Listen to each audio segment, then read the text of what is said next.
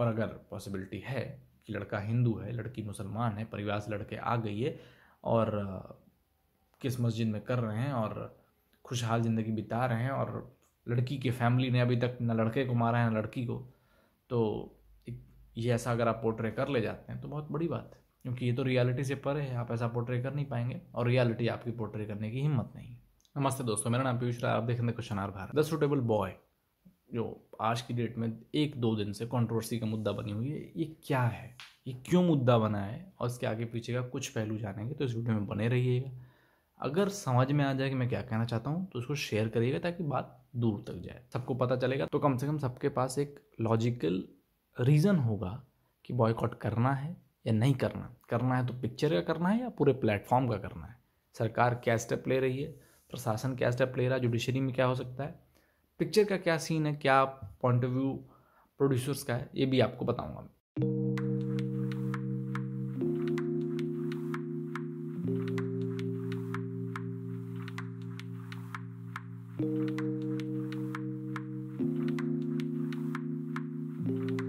The suitable boy जिसका theme set है 1951 का, जिसके हिसाब से मेकर्स का ये कहना है कि in 1951 and newly independent India जैसा कि ट्रेलर में दिखाया कि अब भारत आज़ाद है, आपने सुना होगा।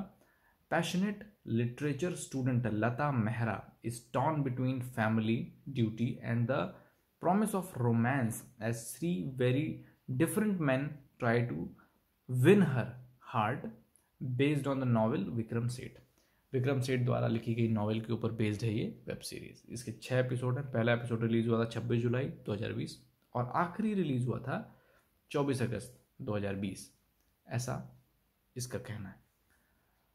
डायरेक्टर है Mira Nair, BBC one network, क्योंकि आपको पहली बार देखने को मिलेगा जुलाई में इसका ट्रेलर, बीबीसी के यूट्यूब चैनल पे, आपको स्क्रीनशॉट दिख रहा होगा। तो हो सकता है बीबीसी ने आगे नेटफ्लिक्स को फर्दर इसके राइट्स बेचे हों। इसकी आई की रेटिंग की बात कर लें तो सिक्स पॉइंट टू यानी कि कुछ खास सराहा नहीं गया है। अब हम आगे बात करेंगे इसमें विवाद के कितने एस्पेक्ट हैं और कौन कौन क्या क्या विवाद कर रहा है और क्या क्या सवाल मेकर्स पे उठते हैं। पहली चीज़, और क्या क्या कन्फ्यूज़न जनता के बीच बनाई जा रही है। ठीक है, आप एक लॉजिकल एस्पेक्ट के साथ आगे बढ़ेंगे।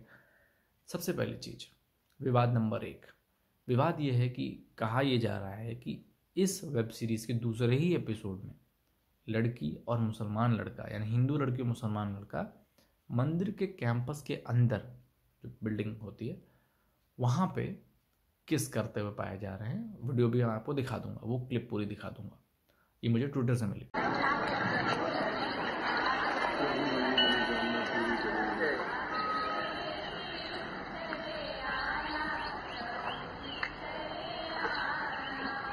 I love you. इसमें आपको साफ़ साफ़ सुनाई दिया होगा कि पीछे भजन चल रहा है। एलिगेशन तो ये भी लग रहे हैं कि सीन एक बार नहीं, तीन बार तक दिखाया गया। ये आपका क्या मोटिव था? वो भी उसी कैंपस में। मध्य प्रदेश के होम मिनिस्टर ने, नरोत्तम मिश्रा जी ने, अब पुलिस ऑफिसर से ये रिक्वेस्ट की है। ये उनको ऑर्डर दिया कह सकते हैं, कि आप देखिए कि क्या कार्रवाई हो सकती है। इस प्लेटफॉर्म के खिलाफ मेकर्स के खिलाफ और करने की जल्द से जल्द कोशिश करिए। ये ऐसे ऑर्डर दिए जा चुके हैं। तो भविष्य में हमको क्या देखने को मिलता है? अब आप इंतज़ार ही कर सकते हैं, पता चलेगा। दूसरा एलिगेशन जो ये है कि वो लव जिहाद का एंगल ढूंढा जा रहा है। मैं इसमें लव जिहाद का एंगल नहीं मानता हूँ। क्यों? क्योंकि लव जिहाद की डेफिनेशन आज की डेट में यही है और भविष्य में अगर आप थोड़ा और स्ट्रिक्ट होते हैं तो आप हिंदू मुस्लिम के रिलेशन को भी लव जिहाद कह सकते हैं। लेकिन मैं मानता हूँ लव जिहाद का मतलब ये है, क्योंकि हमने बहुत सारे हिंदू मुस्लिमों की पीसफुल शादियाँ देखी हैं और अभी तक सही से हो रहा है। लव जिहाद का बेसिक मतलब ये होना चाहिए कि अगर एक व्यक्ति मुसलमान है, लड़की उसके मुसलमान होने पे उसके साथ नहीं आती, ये इस बात का उसको पता है तो वो नाम बदल के उसके साथ रिलेशनशिप में आता है। भविष्य में उसको जब डिस्क्लोज करता है कि मैं तो मुसलमान हूँ और तुम्हें मेरे साथ शादी करने से पहले कन्वर्ट होना ही पड़ेगा, इस बात से लड़की को आपत्ति होती है और वो इस बात को जान लेता है तो उसका क्या तो कत्ल कर देता है, या तो टॉर्चर कर देता है तो छोड़ देता है, या जो भी जिस तरीके से भी अब्यूज़ करता है। ठीक? ये हुआ लव जिहाद। आइडेंटिटी छुपा के लड़की को फंसाना। लेकिन यहाँ आइडेंटिटी क्लियरली बता दी गई है। तो ये लव जिहाद का केस नहीं बनता, पहली चीज़। अब सवाल उठते हैं मेकर्स पे। मेकर्स हमें ये बताएँ कि क्या ज़रूरत है कि हर ऐसी नॉवल में, हर ऐसी वेब सीरीज़ में, हर ऐसी कोई किसी मूवी में आपको एक मुसलमान लड़का, हिंदू लड़की को फंसाते हुए दिख जाए या रिलेशनशिप में आते हुए दिख जाए। ठीक? भाई नहीं मीन्स चाहे लफ्ज याद करते हुए दिख गया या जेनुइन फंसाते हुए दिख गया, जैसे भी। और अगर ऐसा इसमें दिखाया आपने तो जो किसिंग सीन था, वो मस्जिद के अंदर क्यों नहीं दिखाया? सेकुलरिज्म वहाँ क्यों नहीं दिखाया आपका? आप दिखा सकते थे अपना सेकुलरिज्म उस हद तक कि मस्जिद के अंदर किसिंग सीन आप शूट कर रहे हैं। लेकिन आप वो नहीं कर सकते, क्योंकि आपको पता है कि मस्जिद के अंदर तो लड़की का जाना अलाउड ही नहीं है। अभी तक तो यही सुनने में आया है। और कई जगहें ऐसी हैं कि लड़कियों के लिए, महिलाओं के लिए अलग मस्जिद है। या तो आप अलग जाइए या तो मत जाइए, ऐसी चीज़ें हैं। आप एक साथ नहीं जा सकते, क्योंकि लोग नीयत बाँध के करते हैं और महिला बगल में रहेगी तो नीयत टूट जाएगी, ऐसा बहुत लोगों का कहना है। वैसे अगर आप शूट कर भी लेते तो कोई हैरानी की बात नहीं थी, क्योंकि अभी बीच में लखनऊ का एक केस हुआ था कि मस्जिद के अंदर वो हलाला कर रहा था। तो आप सिर्फ़ किसिंग सीन शूट कर लेते तो आपका कुछ खास नुकसान नहीं हो जाता, लेकिन हाँ ये है कि आप जब शूट कर रहे होते तो आपके सब कॉन्शियस माइंड में जब जितनी जल्दी जल्दी वो शूट कंप्लीट हो रहा है उतनी जल्दी जल्दी आपको नज़र आएगा। कि मेरे क्रू की किस मेंबर की गर्दन कट रही है, क्या हो रहा है, क्या नहीं हो रहा है। तो आपको पता है कॉन्सिक्वेंस आपने चार्ली हेब्डो देखा, आपने फ्रांस देखा, आपने कमलेश तिवारी देखा है कि मुसलमानों के ऊपर, उनके फेथ के ऊपर अगर हम कुछ करते हैं, उनको पसंद नहीं आता है तो वो क्या करते हैं, ये आवाज़ आपको अच्छे से पता है।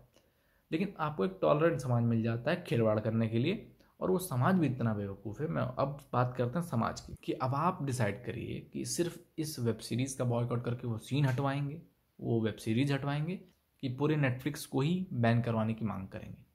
रीज़न नंबर एक नेटफ्लिक्स की ऐसी एक अनेक कई मूवीज़ और वेब सीरीज़ रही हैं जिन्होंने हिंदू सेंटिमेंट्स को हर्ट करने का काम किया रीज़न नंबर दो, ये वही मूवीज़ और वेब सीरीज़ हैं, चाहे नेटफ्लिक्स हो, चाहे बॉलीवुड हो, चाहे जहाँ की भी, जिस प्लेटफॉर्म पे हो।